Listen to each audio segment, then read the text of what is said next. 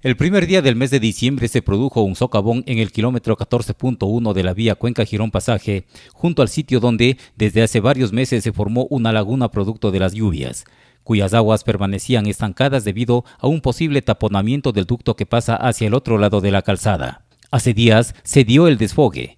El miércoles se hundió en el instante en que circulaba un tráiler cargado de maquinaria pesada.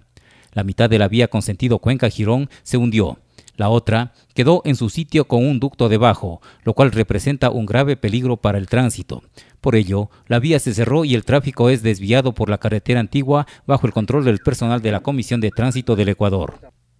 El problema ya había sido detectado hace semanas y constaba en el contrato firmado entre el Ministerio de Transporte y Obras Públicas y Asfaltar EP. Sí, este socavón se hizo ya la revisión, la inspección hace varias semanas antes de firmar el contrato del mejoramiento de puntos críticos en el tramo Cuenca eh, Lenta. Este es uno de ellos. Lastimosamente el tema invernal de los últimos días nos ha complicado. Que este punto estaba ya contratado, está dentro de los 13 puntos críticos que son parte del contrato, parte del mantenimiento que se va a dar a la, a la vía Cuenca Girón Pasaje. Eh, es más, es un punto donde teníamos que ya intervenir. Si es que ustedes se fijan, el accidente yo le veo como accidente de trabajo, es maquinaria del, gobierno provincial.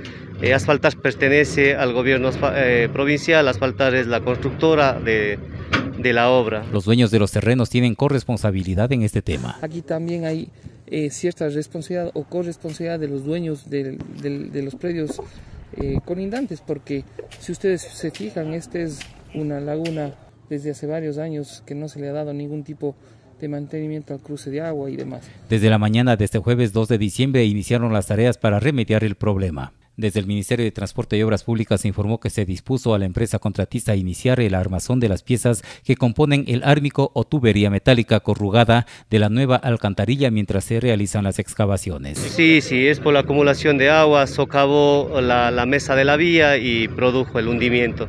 Los trabajos que se van a realizar este, este, este momento es la, el cambio del ármico, es decir, el cambio eh, de la tubería para que circule normalmente el agua por los canales naturales que tienen. Porque hay que colocar eh, un ármico de una dimensión considerable y lógicamente el material de relleno y eh, subdrenes y el material de relleno correspondiente para posterior colocar la carpeta asfáltica. ¿Pero qué tiempo tomarán estos trabajos? Nosotros hoy eh, trazamos una línea de una hoja de ruta, esperamos que hasta sábado domingo podamos tener ya habilitada la vía